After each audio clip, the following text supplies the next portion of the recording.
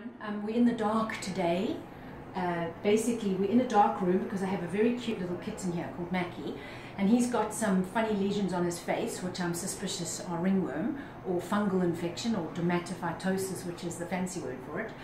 And basically, um, in cats uh, and dogs, 50% of these fungal infections will fluoresce a bright apple green under ultraviolet light and um, 50% will not. But if you're lucky enough to get them fluorescing, you have a diagnosis and you can treat.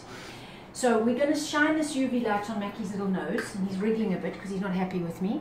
But you can actually see, oh, sorry boy, really bright, bright, bright apple green little hairs. And those are the fungal spores of the ringworm or the fungal infection. And um, yeah, we have a diagnosis. And he's a, a contagious little fellow, so I have to wash my hands and myself afterwards.